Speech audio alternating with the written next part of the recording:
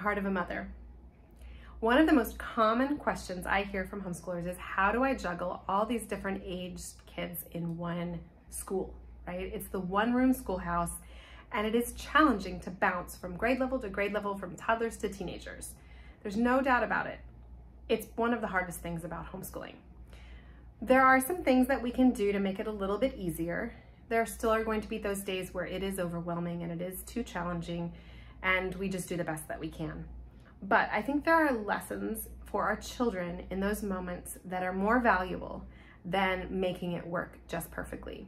So these are my five tips for juggling the needs of all the kids. First, the first thing is a mindset to look at the big picture and the long term rather than just today. If you have five kids, there's no way that you can meet all of their needs in one day.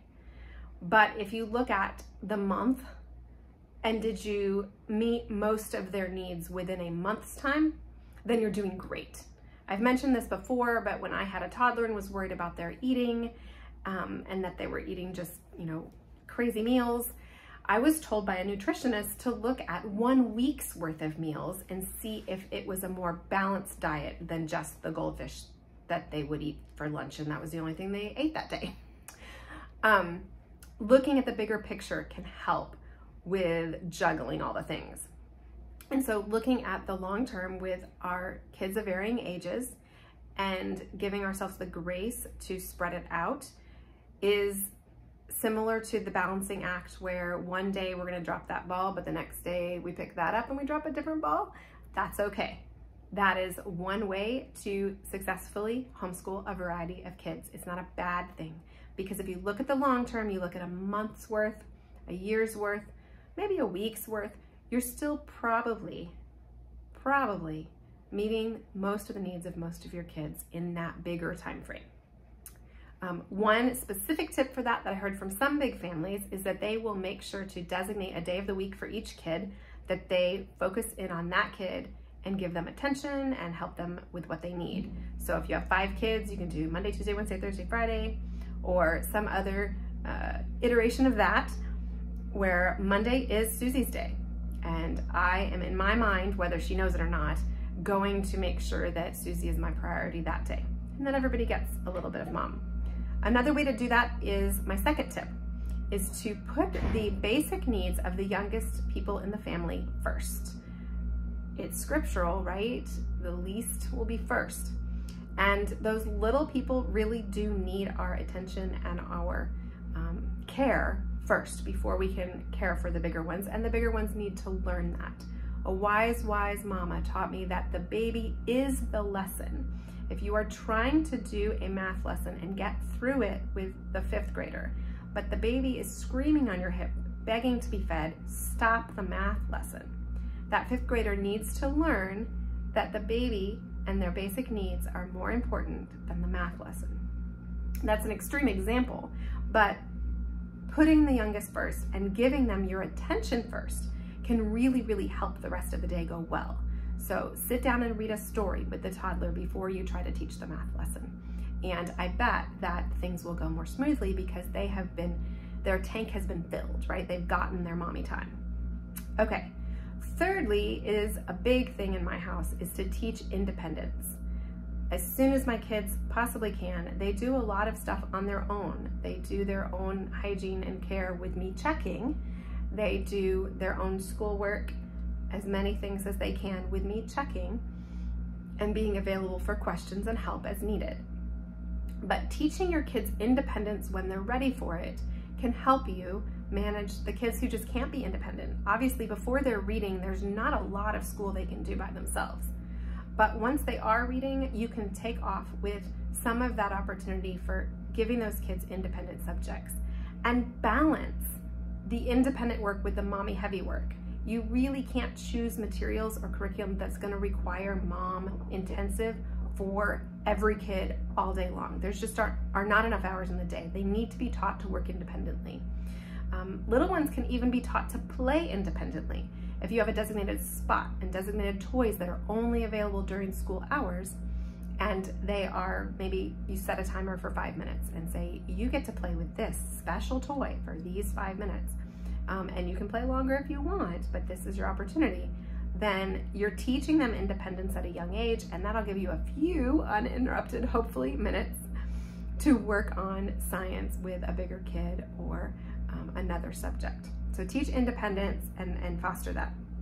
The fourth is especially targeted at the little ones who are younger than kindergarten. So especially your preschoolers, your um, pre-kindergartners, or even the kindergartners who are kind of done with their schoolwork, but you still have other stuff to do with the other kids because they don't have a lot, is involve them and keep them close. Make them feel like they're a part of the work. Give them a workbook that they can scribble in.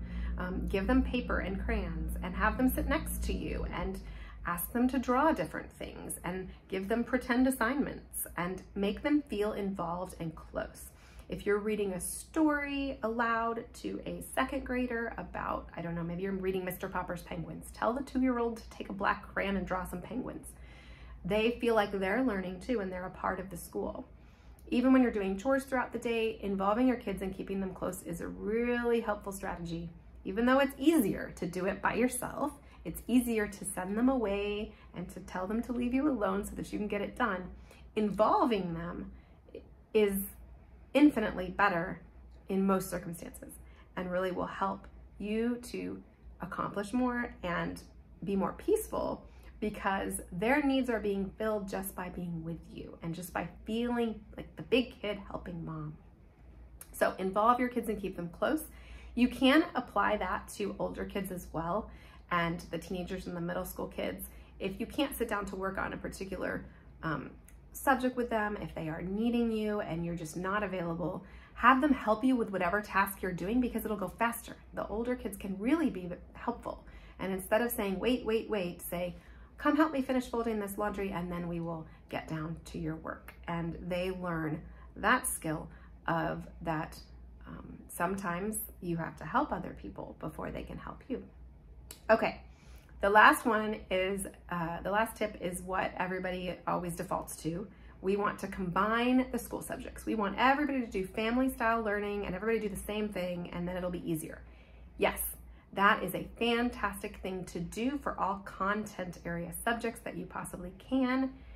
Doesn't always work for every family because of the different personalities and temperaments and skills of each kid. But if you can do some of that and do all the same history or all the same science, do it. You can't really do all the same spelling as easily. You can't do all the same math. Those are skill-based subjects that are really hard to combine unless you have kids super close in age. But if you can find a way to combine other things, go for it and make it work. Now, I have two kids really close in age who cannot be combined for anything because they're too competitive and they get too upset over the other kid's accomplishment over them. And it varies on which kid is upset, but I can't, they can't do the same work. So I can't combine them.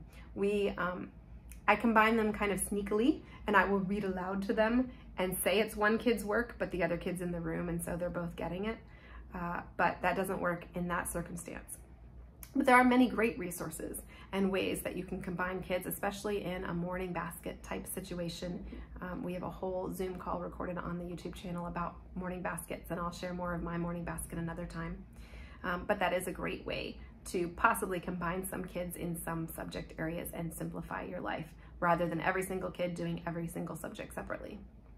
So those are my tips for juggling the kids and the needs of all the different ages to look long term at the big picture. That's kind of the perspective and the mentality that will help bring peace to that anxiety over meeting everyone's needs. Um, just meet the needs of the youngest child first, their basic needs first.